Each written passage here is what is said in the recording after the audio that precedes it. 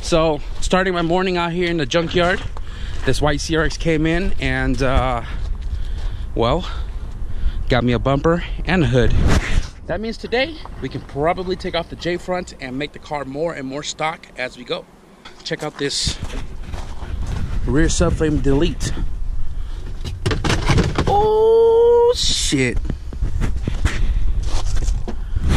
50% off. Let's pay for my shit and get on out of here. Whoa.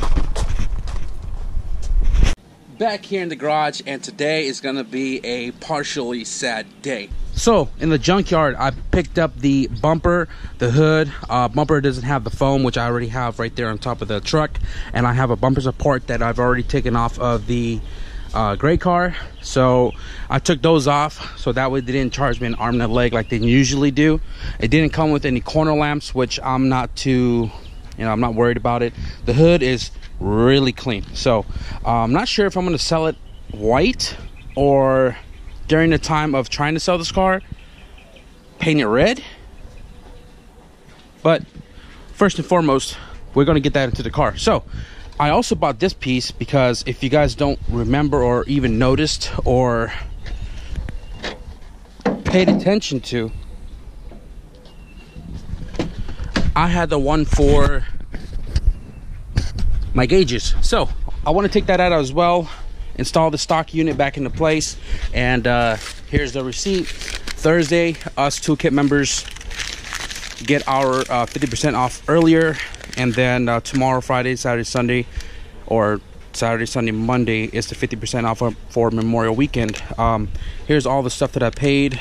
Ended up being 69 because who doesn't like 69 but like i said today is a crx type of day. Um, want to let you guys know right now what I'm going to do is try to get this car as stock as possible and uh, you know lift it on stock suspension stock front end probably throw a stock steering wheel in as well and uh, take out the roll cage I know for the CRX that the battery is dead so I need to get a new battery or charge the battery or get my battery back if you guys remember the track video I let my friend friend Bones take my battery because his battery and his alternator died.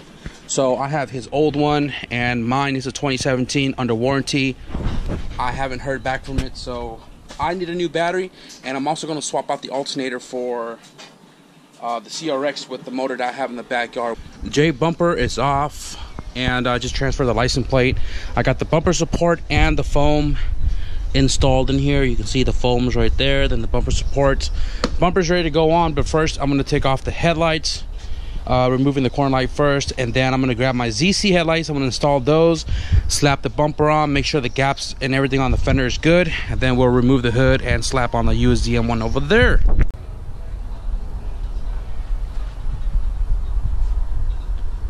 So the hood, everything seems to have lined up um, I didn't gap the body panels or anything, but hood latches and it stayed it stays closed. Um, I don't know. I feel like if I get it up and running again, I'm probably gonna drive it. Just keep on driving it because I don't have the car. I don't have a car to drive anyways. So I may hold on to the car for a little bit longer because I still got a little under a year on registration and still insured for six months. So um, I don't know.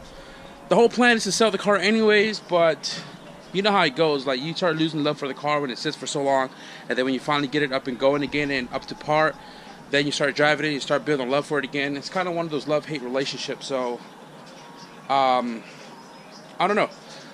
I feel like I want to button this car at 100%. I'm going to drive it around, make sure it's all golden before I do sell the car. And obviously, I would try to get the most out of it because you know it's like part sentimental value to me.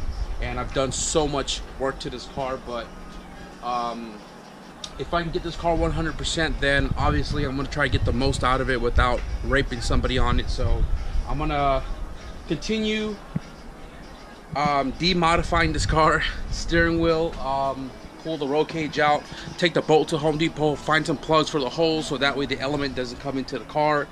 Um, clean it up. Like I said, just demodding it. I forgot about this right here crx dude on instagram. If you guys are looking for any crx parts small clips anything that you would probably break or be missing off your crx this guy's got it. So this right here is a new molding that he sent to me a while ago that i just have not opened and installed because thing doesn't run. Um so before the weather gets all gloomy and cold as f I'm gonna take this out I'm gonna paint it black and I'm also gonna put that on the car as well. So um, after this I'm going in the backyard find all the suspension like I said and then jack it all up and swap it out. For some reason there is full stock suspension in the backyard and I don't know where it came from. So I got the fronts and I got the rears. These are EF forks so they came off an EF from, I don't know from somewhere. And I don't know what car it came off from. So that car has always been low.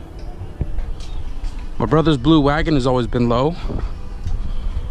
But where these stock suspension come from, I don't know. So uh, what I'm to do right now is while I am working on the front suspension, I'm to pop the lower ball joint out.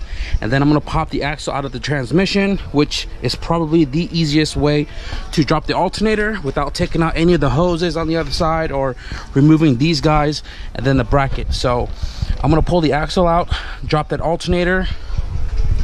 The motor right here in the backyard is a rebuilt engine that came out of my brother's B20 VTEC wagon and it also has a new alternator. So i'm gonna snag this one swap it and uh, maybe we'll try to put a jumper pack on it kick the car on and then let that alternator charge whatever battery i'm to put into this car. Because yesterday we did the voltmeter test and it was only reading 13 instead of 14 on the charge. So i'm almost certain that alternator is possibly the whole issue with my car from the get-go Well, look at here, guys. We have the alternator installed right here. Got the axle reinstalled on the driver's side. And uh, I removed the traction bar to reinstall the stock cross member. Because like I said, I want this to be as stock as possible.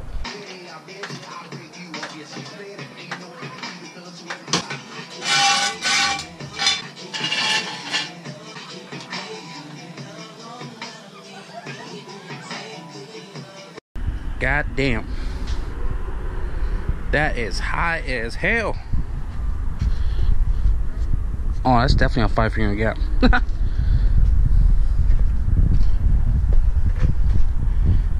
Not too shabby, other than the multicolored body panels. Um, it's kind of cold. I can't even feel my ears right now, which is kind of weird. Lovely weather, a little bit of humidity, but um, I may continue this video tomorrow just because I'm like sweating and cold at the same time. But like I said, I'll get the CRX here tomorrow and um, I might even just get it on jack stands right now or take out the roll cage or something because I know taking out the control arm between the two cars it's gonna take some time and uh, I'd rather have more daylight than working into the darkness so I don't have any ammunition in my BB gun and I cannot sit here and fight the skunk without him that was cooking good shit, having good vibes. I feel like I should go party with them.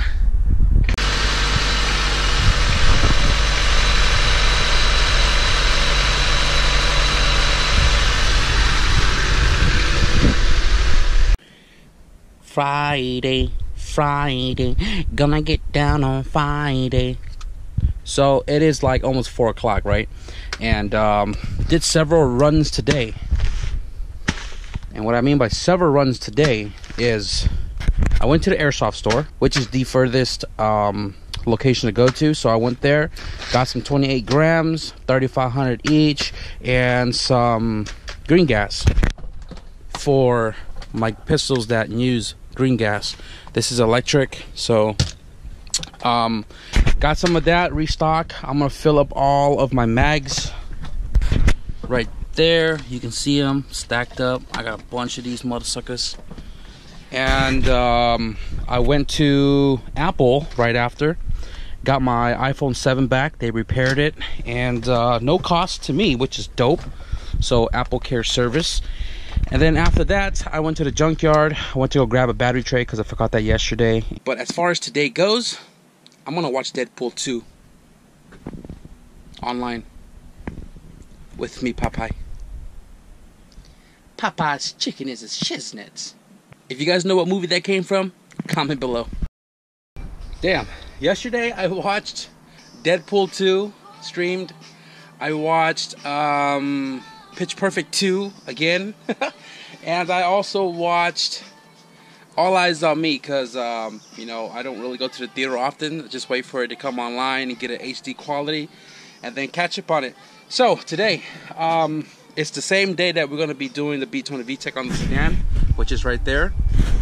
Uh, but first, car got dropped off, letting it cool down, and in the meantime, I am going to be swapping all of my suspension from the red car to my gray car. So, underneath, stock sway bar, stock control arm, stock shocks, because you know, 1760 foot proven eBay coilovers.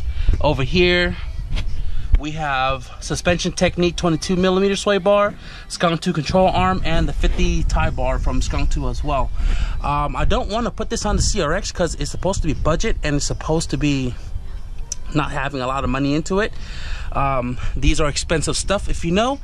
And uh, yeah i just don't have any stock stuff to replace this crx with. So i'm just going to snag everything off of this car swap this over and get the CRX more and more stock as we go. Whew. All right. We got all of the suspension components off the red CRX. Skunk 250 tie bar, 22 millimeter sway bar with the brackets, Skunk2 control arm, function form coilovers.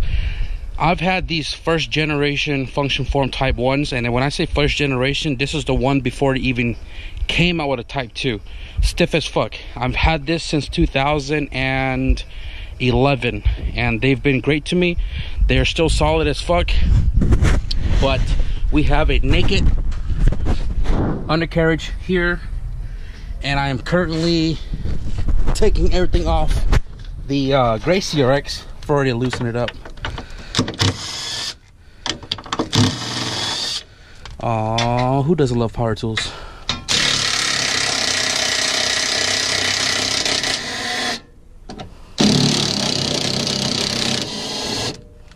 Great for a lot of things, but it could also strip a lot of things. So I'm taking this thing out as a whole unit. You guys can see the sway bar still connected. And I'm just gonna install it all at once. yeah, so procrastination at its finest.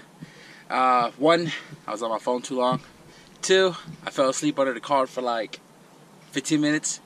And uh, we are done. Um, CRX drag car got all the nice suspension stuff other than the shocks because my shocks are proven and I'd rather just keep those um, stacked up somewhere. I don't know, just kind of forget I had it, but then I have it. I got the tow hook installed with the sway bar because this is a car that's going to be on the trailer a lot. So I need those hooks so I can strap the car down without it flying off when we're towing. On this car, all stock everything. Everything's all tightened up, uh, preloaded. I mean, like I jacked the suspension up and then I uh, tighten it down so that way the bushing is already in the position it's gonna be rather than twisting. If you guys know about that, the SI sway bar is on there because all SIs have sway bars. And what I'm gonna do right now is clean up all my tools, slap the wheels back on, move this back over there, move the CRX out, and then we'll close out this video.